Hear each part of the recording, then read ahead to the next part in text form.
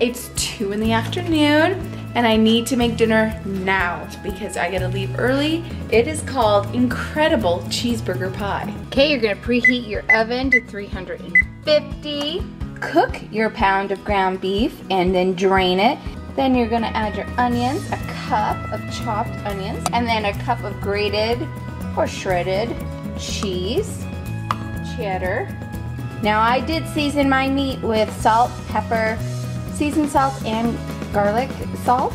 So next we're gonna make the biscuit portion and add it on top. You are going to need one cup of milk, a half cup of biscuit mix, and two eggs. And we're gonna mix that up in this measuring cup. You could do it in a bowl, but whatevs. And then you're gonna pour it on top of your casserole. Let's get mixing. Okay, I have my half cup of Bisquick, adding my cup of milk, my two eggs that up. Pour it all over the casserole. I don't know if it's supposed to be thicker than that. I don't know if I did this right, but we're gonna put this in the oven for 20 to 25 minutes or until the knife inserted in the center comes out clean. Not sure how I'm gonna serve it. I wish I had some tomatoes. I think I'm all out. Let's dish it up and see what it looks like.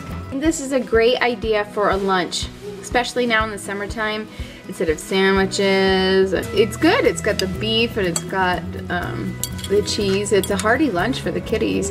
But I'm pairing it with just some lettuce. If you have some tomato, go for it. I'm all out of sliced tomato. But I think if you had some sliced tomato with the lettuce, so it's like a cheeseburger, and you have all those flavors, I think that would be really good. It's not bad, it tastes like a cheeseburger. But I think this is a perfect lunch idea for the kiddies. Callie's dishing up. She liked it. Crunch up some lettuce with it with your ketchup. It's really good. It's like eating a burger. Bye guys. Bye.